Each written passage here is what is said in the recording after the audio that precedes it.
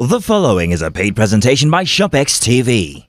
Do you need to protect your home against intruders at night, especially when there is no power? Or would you like to light up the surroundings of your home without having to worry about wires, installations, and hefty light bills? You need the Bionic Floodlight from ShopEX TV, the wireless solar paneled activated multi-directional floodlight that showers a super span of light. The outdoor solar panel absorbs the sun all day to energize a flood of light at night and because it is water resistant, it will not get damaged in the rain. No wires or installation frustrations. Watch, the instant motion is detected. The Bionic Floodlight triggers 108 high-intensity LED bulbs on three separate panels that instantly blasts an area of over 1,000 square feet with bright penetrating light that automatically shuts off when the motion stops. Place them on the ground to illuminate walkways or mount it to keep unwanted people away. Adjust the panels to light your doorway or illuminate your home's surroundings, host your friends or enjoy the great outdoors at night.